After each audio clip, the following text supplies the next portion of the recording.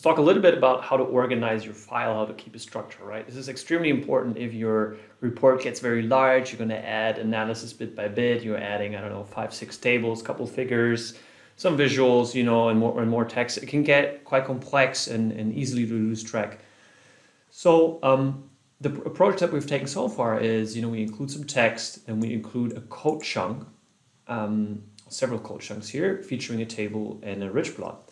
Now, within each code chunk, we're actually uh, executing an R script using the force function, uh, the source function, right? So the, the actual script is saved as an R script on your file, and within the markdown, you call on it, you execute it, all what is needed to be produced is produced, and then, for example, this tab 4 object is being produced, and then you call on it in the code chunk to tell R, this is the object that I want to include in the report. Let's take a quick look at what each of these R scripts actually do as a reminder here, yeah?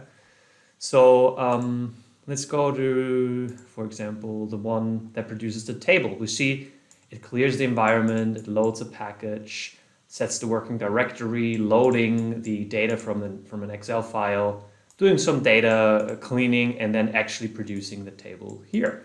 So all of these steps are included, and then once you call on it in our uh, in, in, in our source command here in the markdown file, all of this gets executed. Let's take a quick look at the one down here where we're implementing the ridgeline plot. Um, I prepared these files here. So again, we're loading a couple of um, R packages and we're doing some data cleaning and actually producing the ridge plot in one go. Yeah. Notice that we're not loading the data again. We're not importing the data from the Excel file again um, into R because this has already been done, right? So there's sort of a uh, an incremental approach here where in within the R Markdown environment, uh, they, all the scripts that are being executed build on each other.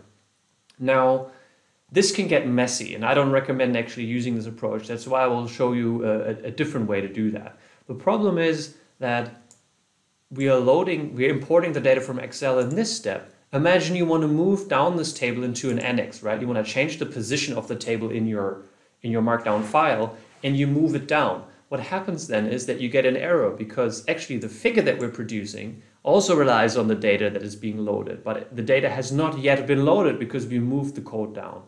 So um, sort of a workaround and something that I really recommend is um, just loading everything up front, right? So we include a, a, dedicated R chunk for this, a code chunk for this, and we could call it load. And we say include false, which means that whatever happens here is not included in the report, actually, right? And then we're just loading um, files separately. And I actually prepared this here to save us some time. And this is what I did. First, I set the working directory with this command, and then I load each script separately. One that's only loading all the script, uh, the packages, one that's importing the data from Excel, one that's producing the table, one that's producing the figure, right? And if we load that in a code chunk up front here, we have everything ready that we can use anywhere in whatever time later in the R Markdown file. Okay, so, so, so I'd always recommend doing this. Um, also, it's, it's more convenient if you do want to change something, right? If you want to load an additional package or if you want to import new data, if you want to add another figure, you just go to that particular script, make your changes, but your R Markdown file will remain intact and unchanged, right? So later in the code chunks, you only refer to the final object that was saved and loaded and, um, and, and you tell R to include that particular output in your in the report. Don't forget here in this code chunk, the first one where you load everything, to include false, which basically means that none of this is included in the report. It's just being executed in, in, in the background. Okay? And yeah, I recommend um, structuring your R Markdown file this, this way, especially as your project keeps growing to remain sort of an overview, remain structure, and to make it more, uh, to make it easier to to make edits, but also um, importantly to make it replicable more easily, right? If others uh, get your hand, get their hands on your script, you know they need to see what's going on and then um, uh, be able to to replicate it.